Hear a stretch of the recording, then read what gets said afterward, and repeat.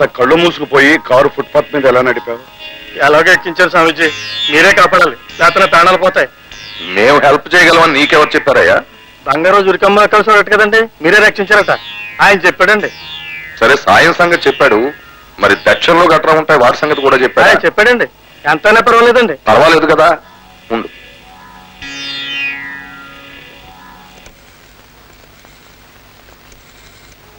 Inspector Krishnamurthy గారా?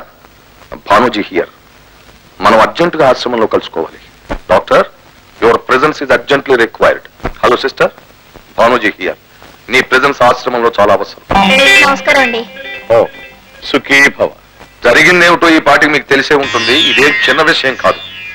కారా అక్కడ ఉండిపోయింది. ఇతని బూట అతనికి దొరికిపోయింది. మరి ఈ భీమరాజును అతను గుర్తు పట్టేశాడు. కనుక ఈ భీమరాజు ఎట్టి పరిస్థితుల్లోనూ తప్పించుకోలేడు. ఒకవేళ తప్పించుకోవడమే జరిగితే అది ఏదో మహా మాయ జరిగినట్టు జరిగిపోవాలి. అది నీ వల్ల జరగాలి లేదా నా వల్ల జరగాలి. నేను రాజధాని చుట్టూ తిరిగినందువల్ల జరగాలి. మరి దాని ఖర్చు ఒక లక్ష కావచ్చు పది లక్షలు కావచ్చు నువ్వు తట్టుకోగలవా? ఉందండి నా ప్రాణాలు కాపాడండి. సరేనయ్యా నీ ప్రాణానికి మా అందరి ప్రాణాలు అడ్డు. నీ కోసం వాళ్ళ ఉద్యోగాలు ప్రాణాలు కూడా అడ్డం పెట్టేస్తారు. పని జరిగిన తర్వాత మనిషి కూడా చొప్పున ఇచ్చేయి. అది చేయించినందుకు నాకు రెండు ఇచ్చేయి. ఆ, స్వామీజీకి పర్సనల్గా ఓ రెండు ఇచ్చేయి. మరి ఈ ఆశ్రమాన్నంతా అభివృద్ధి పరచాలిగా? దానికో రెండు ఇచ్చేస్తాడు. అలాగేనండి. నన్ను మాత్రం ఈ గండం నుంచి కాపాడండి. అలాగేనయ్యా. ఇన్స్పెక్టర్ గారు? చెప్పేది ఉంది. మూడు రోజుల క్రితమే ఇతను కారు ఎవడో ఎత్తుకుపోయాడు. ఎవరు ఎత్తుకుపోలేదు కదండి. మీ కారు ఎత్తుకుపోయినట్టు మీరు మూడు రోజుల క్రిందట ఇన్స్పెక్టర్ గారికి రిపోర్ట్ ఇచ్చారు. ఆయన ఆ రిపోర్ట్ రిజిస్టర్ చేసుకున్నారు. కారు సరేనండి. మరి నా కాలు బూట ఆయన దగ్గర ఉండిపోయింది కదండి? ఆ బూటు ఏ రంగు? ఎరుపు రంగు అండి ఎరుపు రంగు. ఇన్స్పెక్టర్ గారు ఆ బూటు ఏ రంగు? నల్ల రంగు బూటు. ఇక నీ విషయం. నువ్వు కాలు విరిగి ఆ రోజుల క్రితమే హాస్పిటల్లో చేరావు. మరి చారలేదు కదండి? చేరావయ్యా. ఆరు రోజుల క్రితమే డాక్టర్ గారు నిన్న హాస్పిటల్లో ఇన్పేషెంట్గా చేర్చుకున్నారు. కాలు విరిగి చేరినట్టు ఇరవై ఎనిమిదవ తారీఖునే రిజిస్టర్లో నమోదు చేయబడి ఉంది ఏం డాక్టర్? మరి కాలు విరగలేదు కదండి? స్వామీజీ కాలు విరగలేదట. కాలు విరగలేదా? ఇప్పుడు విరుగుతుంది.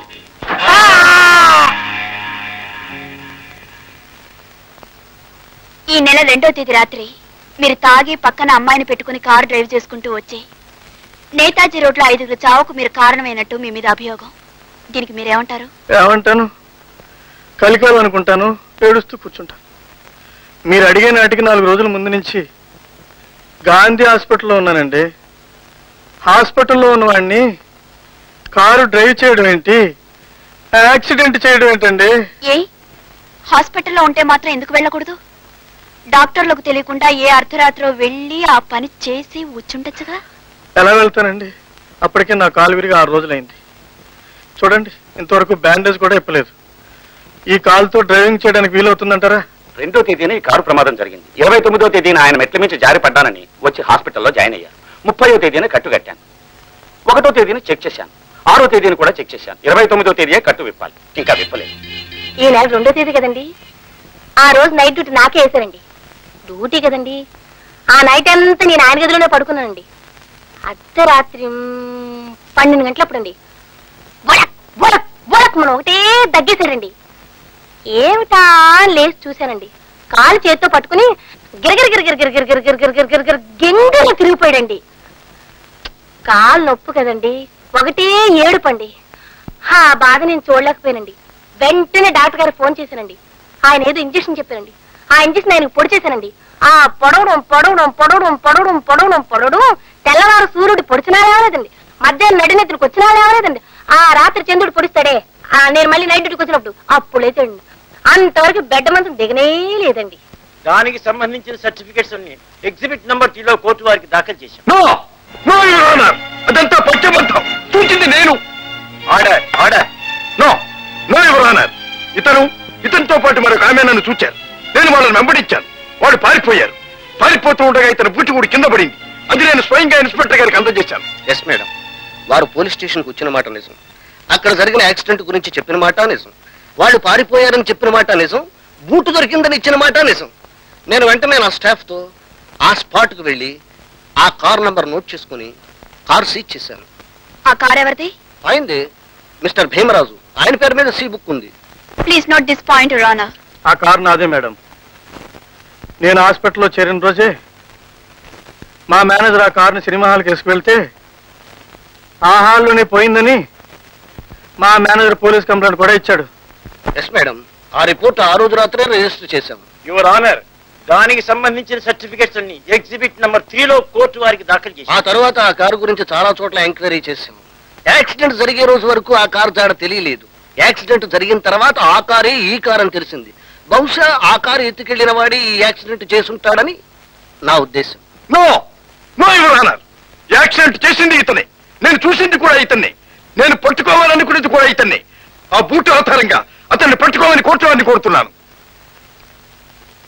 మిస్టర్ చక్రధర్ ఇదేనా మీరు ఇన్స్పెక్టర్ గారికి ఇచ్చిన బూటు? నేను ఇచ్చింది ఈ కాదు. ఎర్ర బూటు. అది వారు తీసుకొచ్చి ఇచ్చిన బూట్. ఆ బూటు రంగు కూడా రిజిస్టర్లో నోట్ చేశాను. ఆ ఉద్రేకంలో ఆ చీకట్లో అది ఎరుపో నలుపో పాపం వారు చూసుండకపోవచ్చు. ఇన్స్పెక్టర్ ఎరుపో నలుపో తెలియంది నాకు కాదు మీకు. నిజం చెప్పు. నిజం చెప్పు. చక్రధర్ దిస్ ఈజ్ కోర్ట్ నడిపదారిలో వాదించుకున్నట్టు నడిపదారిలో తిరగబడినట్టు కోర్టులో మాట్లాడడం చట్టరీత్యా నేరం. అడిగిన దానికే సమాధానం చెప్పండి. అడిగిన వాటికి అడిగినప్పుడు చెప్పండి. ఐఎమ్ సారీ వాదోపవాదాలు విన్న తర్వాత మహావీర చక్ర బిరుదు తీసుకున్న మేజర్ చక్రధర్ కేవలం గతంలో భీమరాజు అనబడే వ్యక్తి మీద ఉన్న పగతో ఒకసారి తను ఇల్లు కట్టుకోవడానికి సిమెంట్ అడిగితే ఇవ్వనన్నాడనే కక్షతో ఆ పాత కక్షని గుర్తుపెట్టుకుని ప్రభుత్వం మహావీర చక్ర బిరుదు ఇచ్చింది కదా తను ఏం చెప్పినా ఏం చేసినా ప్రభుత్వం నమ్ముతుందనే అహంభావంతో ఈ కేసుని నమోదు చేసినట్టుగా కోర్టు వారు నమ్ముతున్నారు. ఇలాగే గతంలో పంచదార ఫ్యాక్టరీ యజమాని రాజనాల గారి మీద తప్పుడు అభియోగం చేసి కోర్టు వారి చేత మందలించబడ్డారు బాధ్యత గల ఒక ప్రభుత్వాధికారి తన బాధ్యతను విస్మరించి కేవలం వ్యక్తిగత కక్షలతో మనుష్యులను సాధించాలని చట్టానికి న్యాయానికి సంబంధించిన అధికారులను అవమానించారు ఈ ప్రయత్నాలను కోర్టు వారు గర్హిస్తున్నారు. అందుకు మేజర్ చక్రధర్ని కోర్టు ముగిసే వరకు నిలబడవలసిందిగా ఆదేశించడమైనది.